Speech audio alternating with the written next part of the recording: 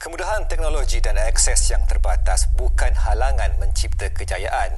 Ia dibuktikan tiga murid orang asli Sekolah Kebangsaan Permatang Keledang Pekan Pahang apabila emas menjadi milik mereka di International Robot Olympiad IRO ke-26 di Korea Selatan. Kepulangan wira robotik ini ke tanah air semalam disambut meriah. Benar kata pepatah, tuah ayam nampak di kaki, tuah manusia, siapa yang tahu? Pertama kali mewakili negara dan pertama kali juga menjejakkan kaki keluar negara.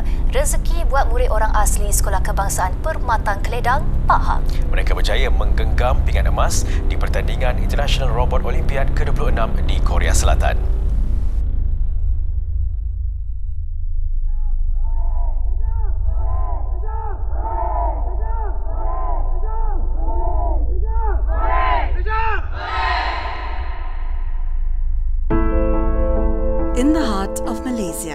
Where the jungle breathes and rivers whisper, live children whose dreams once echoed only among the trees. They are the Orang Asli, guardians of tradition, born into nature's embrace. Here, life is simple a rhythm of kindness, sincerity, and respect. Children rise with the sun not to screens or schedules, but to the call of the river and the warmth of the family. School is distant, not just in miles, but in mindset.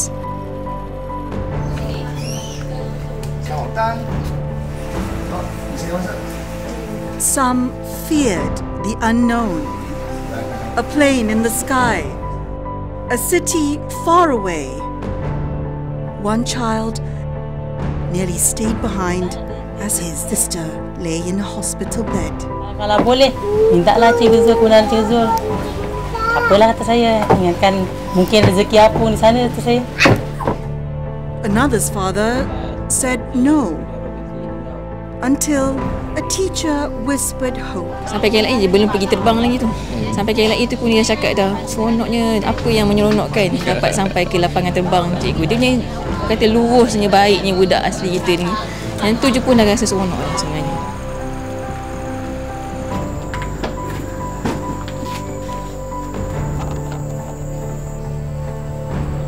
Nama saya Cikgu Ahmad Najmudi Berjafar dari SK Seri Permai. Nama saya Eza Sofia binti Semans dari SK Kampung Layau. Saya Muhammad Zuhairi bin Umar, mengajar di SK Matang Kedam Pekan Pahang. Di sebelum terciptanya ketua uh, inovasi ni, benda yang paling saya fikir adalah macam mana kita nak fight dengan sekolah rendah. Sebab kita tahu pelajar kita ni, taraf dia memang boleh dikategorikan jauh sangat uh, untuk main robot ini dia memerlukan kos yang sangat tinggi. Okay, jadi ini merupakan satu bukanlah peluang yang selalu uh, didapati oleh sekolah macam sekolah kami, sekolah asli yang di dalam pedalaman. Jadi pada saya macam saya patut teruskan benda ni. Saya tak boleh biarkan dia tergantung di situ saja. Jadi dari situ saya cuba teruskanlah uh, robotik di sekolah kami. Bagi saya uh, tak ada isu sebenarnya beza murid uh, orang asli dan murid Melayu sendiri. Cuma kalau kita lihat um, di sekolah orang asli ni mungkin kekurangan dari segi fasiliti, infrastruktur dan juga uh, alatan untuk buat projek robotik. Tetapi murid asli ni kalau kita lihat uh, kalau kita asuh daripada awal, kita mula pada awal dan insya-Allah uh, murid asli ni dia pun mampu bersaing dengan murid-murid lain dan istilahnya uh, boleh berdiri sama tinggi dan duduk sama rendah bersama murid-murid lain di Malaysia. They are more than educators. They are protectors of possibility. They gave their time, their money, their hearts. They built robotic centers in remote schools and dreams in young minds. With blocks and wires, with laughter and play, the jungle began to hum with innovation. Critical thinking grew not from textbooks, but from trust, games, and joy. And slowly, the spark became a flame. They flew not just across oceans, but across generations. From palm oil estates to international arenas, their courage soared.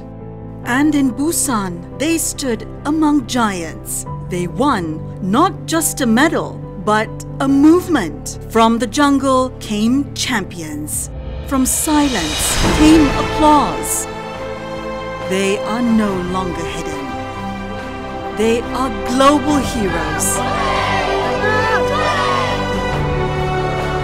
Berlangsung di Pusat Pameran dan Konvensyen Pusat Korea Selatan. Kontinjen negara Fizri Robbins Ronachai, Hafizi Azwani Zizi dan Matthew Jambai Karong memenangi kategori kreatif teknik rendah atas. Ketiga-tiga murid orang asli itu berjaya menambat hati para juri sebelum bergelar juara. Now the jungle sings a new song.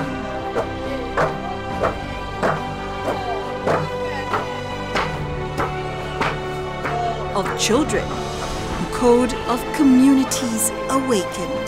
Petrosigns and Tech for All lit the path and the lights keep growing. This is not the end. It is the beginning.